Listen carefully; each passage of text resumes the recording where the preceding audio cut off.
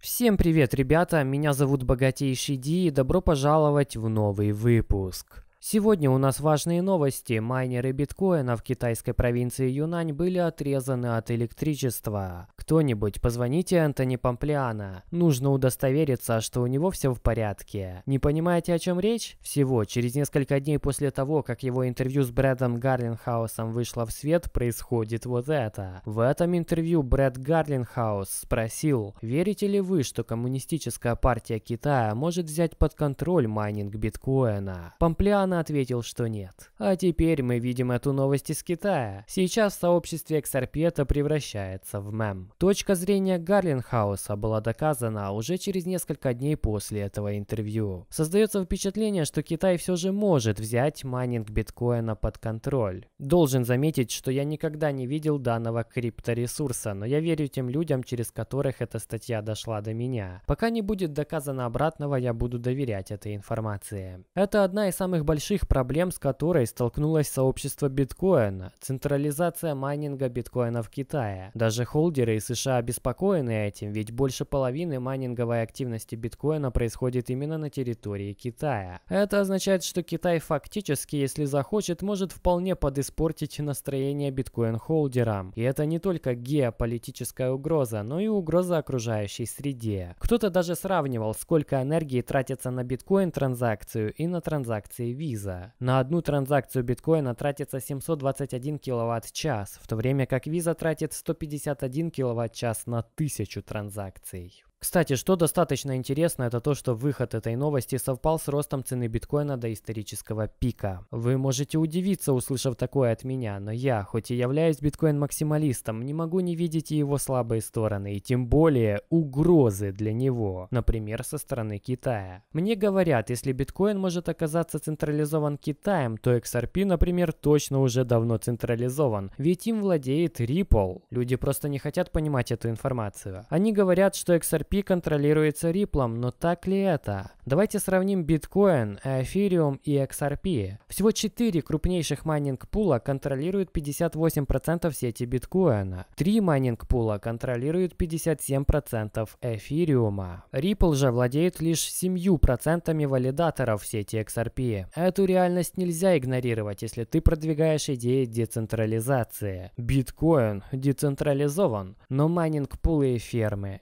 нет. Пока мы смотрели на то, что происходит с майнерами в Китае, генеральный директор Ripple сделал смелый прогноз, или даже несколько прогнозов. Гарлинхаус достаточно точен в своих прогнозах, он не всегда попадает во временные рамки, но всегда точно предсказывает исход событий. На сайте Ripple директор Ripple Брэд Гарлинхаус сделал прогноз о том, что половина из списка топ-20 крупнейших банков мира будут активно держать и торговать цифровыми активами в 2020 году. До конца года года остался всего один месяц. Посмотрим, произойдет ли это. Не забывайте, что сам Ripple назвал 2020 год годом цифровых активов. И у меня есть ощущение, что этот последний месяц в году покажет нам, почему этот год был назван именно так. Думаю, Ripple XRP что-то доготовит.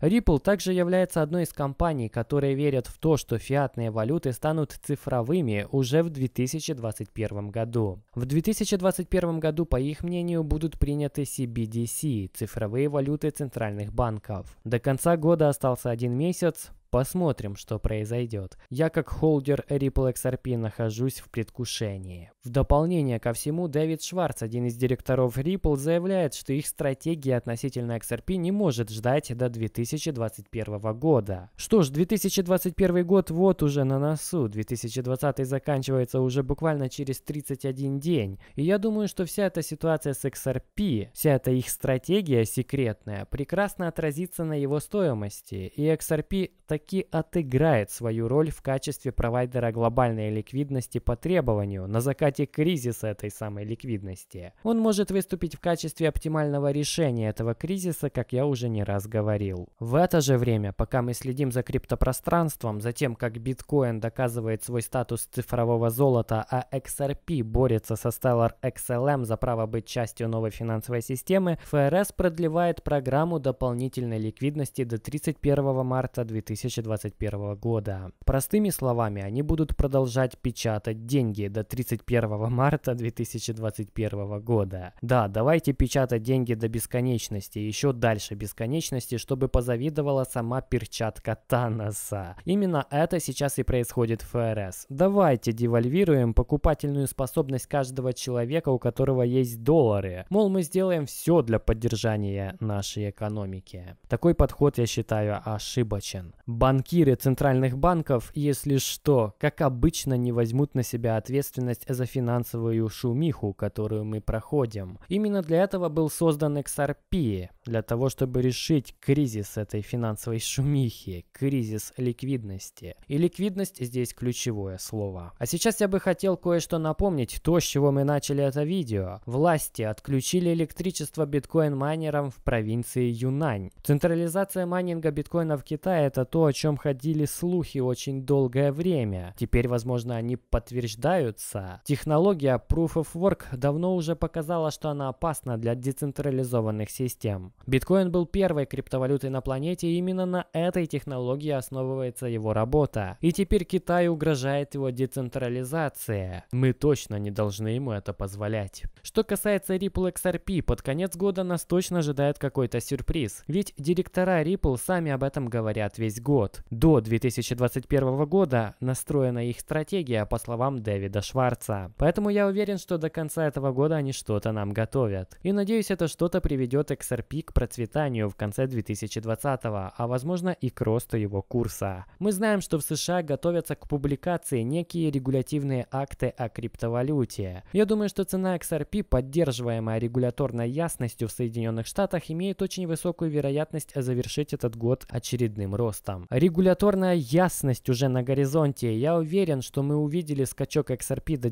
92 центов как раз таки из-за того, что учреждения, умные деньги, знающие люди уже обладают информацией о том, что регуляторная ясность относительно XRP приближается. Это, кстати, не просто мои слова. Посмотрите на графике. Самый первый это одна сотая от всех адресов Ripple с балансом более 26 миллионов XRP. Как вы видите, в последнее время они активно накапливают XRP, в то время как остальные, не такие богатые кошельки в панике от них избавляются. Как вы помните, в одном из видео я показывал вам действия криптобирж и говорил о том, что Coinbase и Binance готовятся увидеть дополнительное регулирование в Соединенных Штатах. Глава комиссии по ценным бумагам и биржам Джей Клейтон ушел со своего поста, поэтому мы четко понимаем, что США явно готовится к какому-то моменту и уже очевидно, что именно Соединенные Штаты станут первой и единственной пока что страной, которая предоставит регуляторную ясность для XRP. В свою очередь, Ripple дал Соединенным Штатам полгода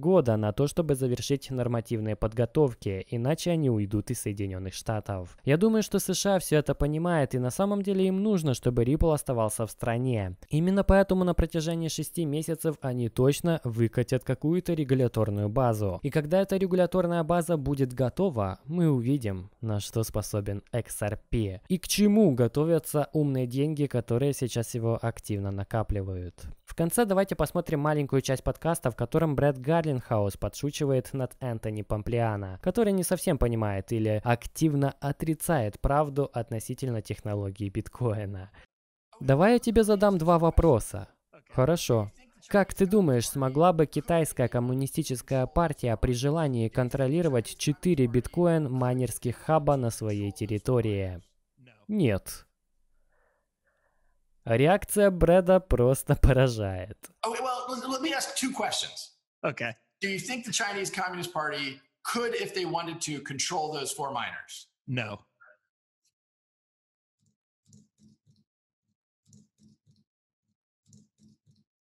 А меня зовут Богатейший Ди, ставьте лайки, это очень поддерживает меня и мой канал. Действительно, я прямо мотивируюсь постоянно делать новые ролики. А также подписывайтесь на канал, телеграм, жмите колокольчик, делитесь видео с друзьями, комментируйте обязательно. Богатейте. До скорого.